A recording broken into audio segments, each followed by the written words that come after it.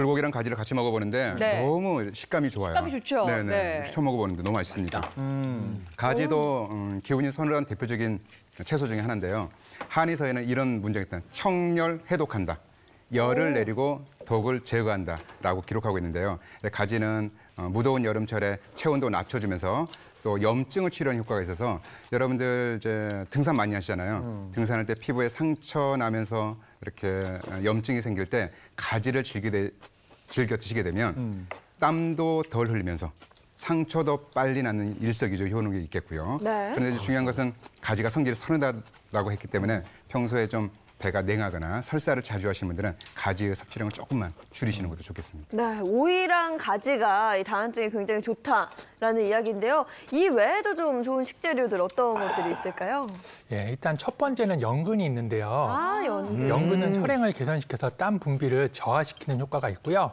그리고 두 번째는 메밀이 있습니다. 메밀은요 혈액 순환을 개선시키고요. 그리고 심신을 안정시키고 스트레스를 줄여주는 효과가 있습니다. 또한 메밀의 찬 성분은요 몸의 열기를 떨어뜨려 다한증의 예방에 도움이 됩니다.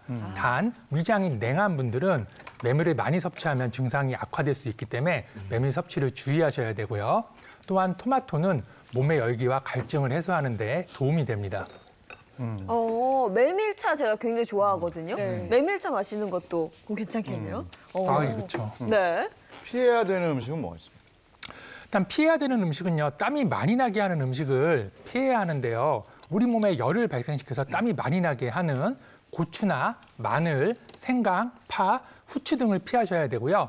그리고 짠 음식을 피하셔야 되고 특히 카페인이 많이 함유된 녹차나 커피, 홍차 등을 많이 드실 경우에는 예, 카페인이 교감신경을 활성화시켜서 땀을 많이 나게 하기 때문에 피하시는 게 좋습니다. 카페인이 또 그러네. 페인. 네. 오. 그러면 평소에 우리가 마시면 도움이 되는 차는 뭐가 있을까요? 음, 그 처방에 보면 색, 생맥산이라고 하는 생맥산, 생맥산. 맥을 생하게 해준다, 생생하게 해준다. 네, 있어요. 근데 이제 여름철에 땀을 많이 흘려서 기운이 없을 때 과거부터 많이 이제 여름철 음료로 복용했는데요.